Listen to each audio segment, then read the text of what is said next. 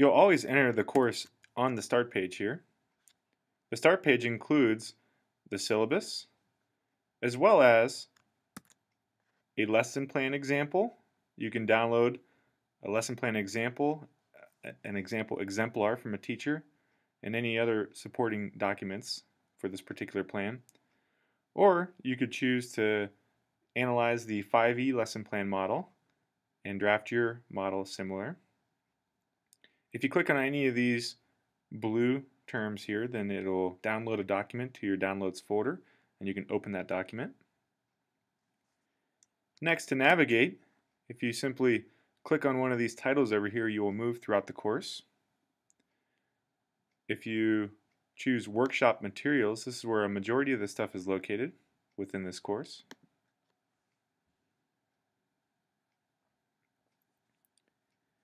I have the workshop materials located in individual folders. The most recent workshop will be organized at the top of the screen and older workshops will be populated farther down. You can click on the title of the workshop to see more materials within this. Let's go ahead and get into the folder here by clicking the title of the folder.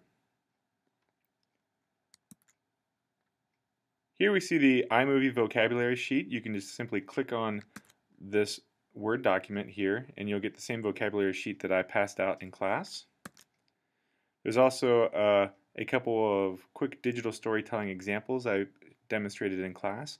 Click the play button and you can watch it through YouTube. And here's a website that I uh, mentioned in class from the University of Houston. If you click the title, it'll take you to that website. Finally, teachers can uh, upload their work right here by clicking on the title of each of these.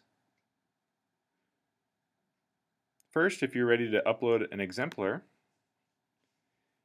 in this particular workshop, a teacher would make a movie to show to their students as an exemplar or to use as a hook in front of the class. And the movie could be saved as a M4V file or an MOV file and uploaded using the Browse My Computer. If you click this, you can search your computer for different files and just attach it just like you were doing in an email. If, for instance, you posted your exemplar on YouTube and you just wanted to uh, include the URL address, you could simply type that in right here and then post it and I would be able to follow the URL address, the website address uh, from your submission. Once you have your work provided there, simply choose Submit in the bottom right corner, and you'll receive a time and date stamp as a confirmation.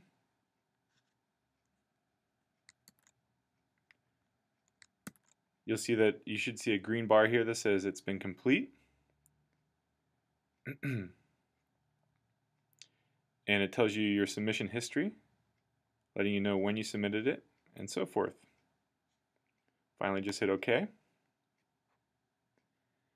If you needed to, you could submit a second time. If you forgot something, I would receive both submissions. One last little uh, tidbit here.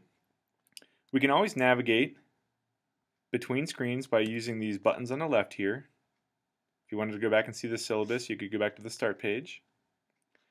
You can view the calendar of when the due dates, when the assignments are due, and so forth. And another way that you can navigate around is that you can um, use these breadcrumbs that appear up here. This shows you all the folders and subfolders that you've traveled through. So if you move back and click here, it'll take you back one level and you could then navigate into the Web 2.0 workshop. So again, there's two ways to navigate. One, using your breadcrumbs. As you get deeper and deeper, you'll see more of them appear and you can back out one or two at a time.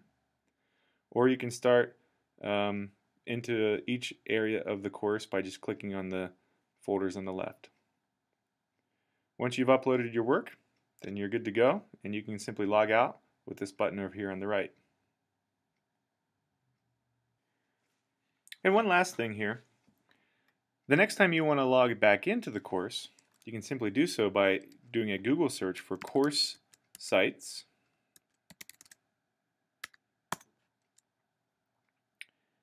And then click this one.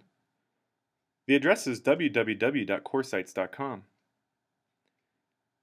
You might want to bookmark this for your convenience. Simply choose Login and re-enter the credentials you did before.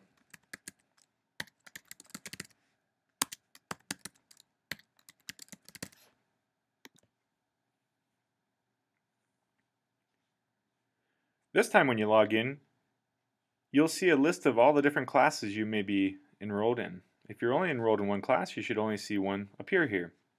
But you can be enrolled in unlimited number of courses here.